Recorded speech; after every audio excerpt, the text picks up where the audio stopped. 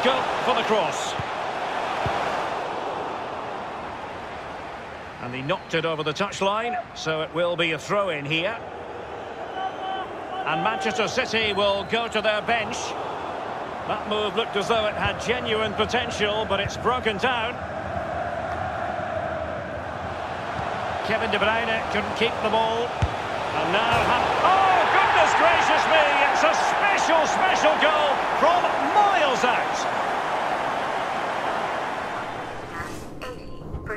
And falling.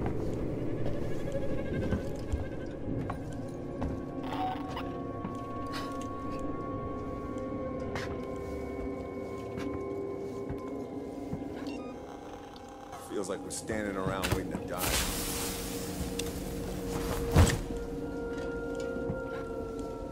Got a flare over here.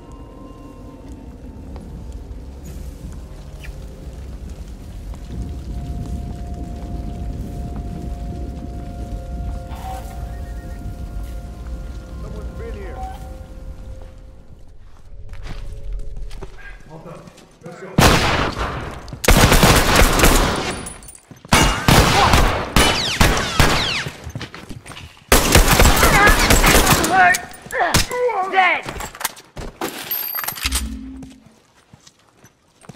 Keep breathing. I got this.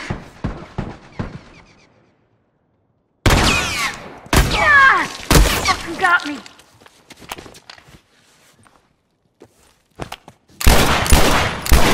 Keep breathing. I got this.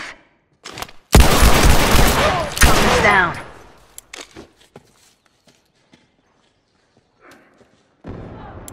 Thanks.